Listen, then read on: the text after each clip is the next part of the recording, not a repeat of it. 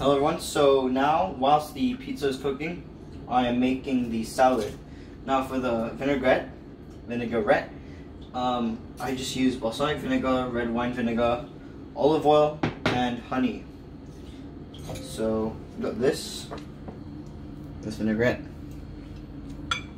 I don't really know the ratio to it, we just kind of like went for, you know, the taste test. Because obviously, you can't always follow a recipe because recipes are just really, you know, hard to follow, and some of them are inaccurate most of the time because of the different measurements, and there's always a confusion between some people and the, you know, measurements. Like, yeah, sometimes the weighing scales be wrong, you know, all that stuff. But this is what we turned out with. We're gonna taste test it now. So.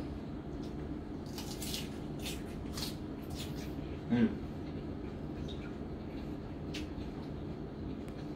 Mm-hmm. That's good. Not too sour, not too sweet, not too salty. Just right.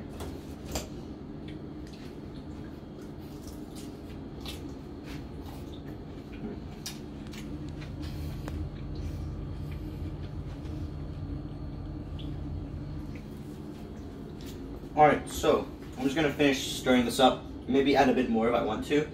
But after this, we're gonna check up on the pizza.